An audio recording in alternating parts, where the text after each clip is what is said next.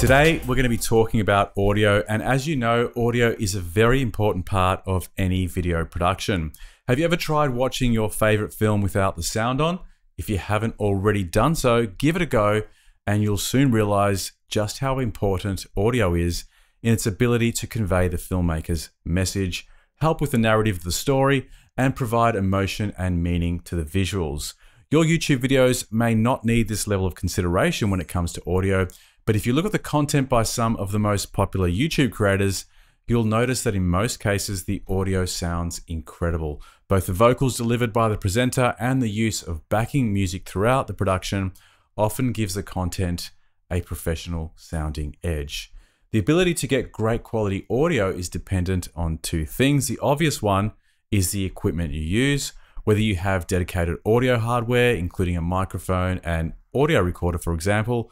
But the one that isn't so obvious is the environment you're shooting in. Even with the best quality audio gear, if you don't choose the right microphone according to the natural sounds of the environment, then you're not going to get the best possible results. This is particularly relevant when you're shooting videos indoors each of us will be shooting our videos in a unique environment and it will have its own acoustic properties. So this is the location that I normally shoot my videos. I've temporarily converted it into a games room deal with this lockdown situation. And as you can see in here, there's a fair amount of reverb in that background audio. So I have to not only make sure I choose the right type of microphone, but also consider the microphone placement very carefully. I can choose to use a lapel microphone, which I have here, and this has the advantage of allowing me to place it up close and personal. It's very discreet, and being so close to the vocal source, there tends to be less room noise and echo present in the recording.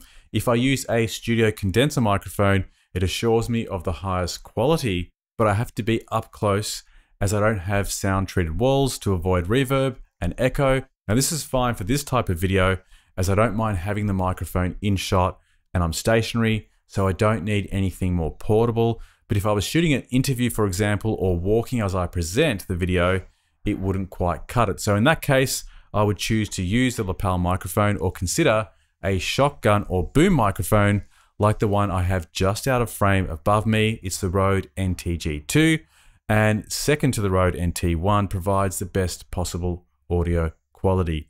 So in this demonstration, I'm going to compare the differences between each of these microphones. I'll compare the sound of the Studio Condenser Rode NT1, the Rode NTG2 Shotgun, and the Rode SmartLav Plus lapel microphone. I'm going to turn all post-production effects off so you can hear the raw audio source. And then at the end of the video, I'll explain the effects that I used and why they make such a difference in the final recording. The audio that you've just been listening to is coming from the Rode NT1 Studio Condenser microphone. I'm now going to take the effects off so you can hear how it sounds in this environment. The Rode NT1 is a 1 inch diaphragm condenser microphone that gives you the ability to capture pristine low noise vocals and instruments wherever you go. Combining innovation and tradition, the NT1 is a professional grade studio condenser microphone.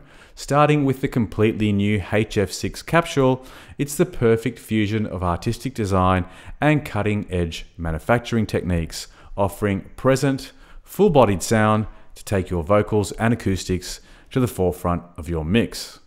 Now let me switch over to the Rode SmartLav Plus.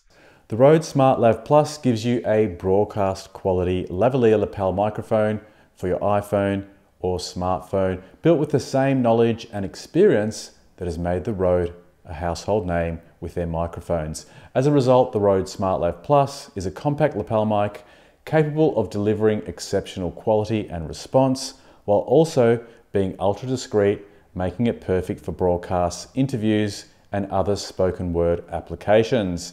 To record, simply mount the microphone to the person speaking, connect it to a smartphone or tablet jack, and record easily via the Rode Recorder app for iOS.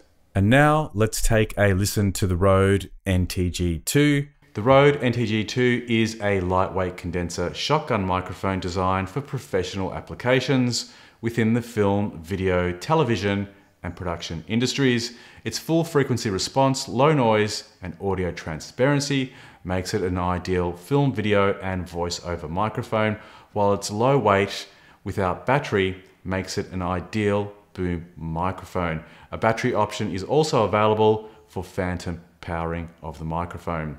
So hopefully this demonstration has given you a better understanding of the different types of microphones you can buy and when to use them to give you the best results.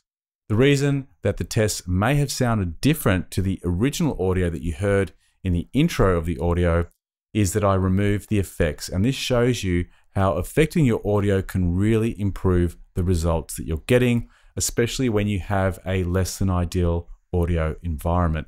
As I mentioned, I'm shooting in a room that has a high amount of reverb and echo due to all the hard surfaces and lack of soft furnishings.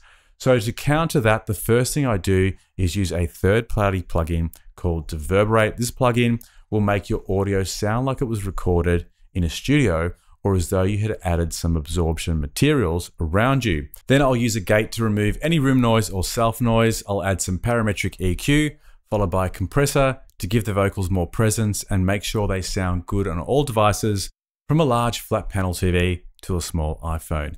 Now, hopefully you've got some value out of this video. If you did, hit me up with a like and consider subscribing to the channel so you'll be notified of up and coming video releases. If you've got any questions about the content I've covered today, as always, I'll encourage you to put those questions in the comments box below and I'll try and get back to you as soon as I can. Thanks for watching. See you on the next one.